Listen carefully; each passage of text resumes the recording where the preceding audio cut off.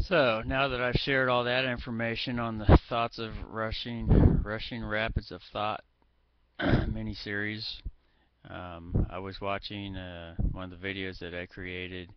Said third-party match on the sound because I have Miley Cyrus video up there and Kesha video and Benny Hinn and Mike Murdock on the website.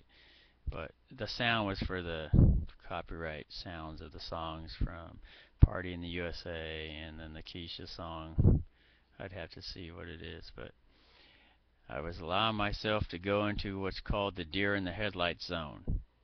And that's where you just feel, feel yourself flowing into this um, state of a combination of what's aware around you and thought.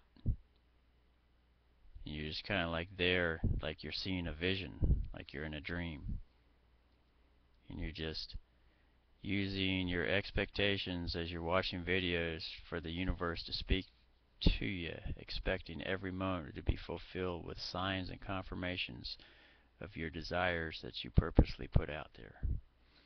Alright, so I'll call this rapid, rushing rapids of thought, deer in the headlight feeling.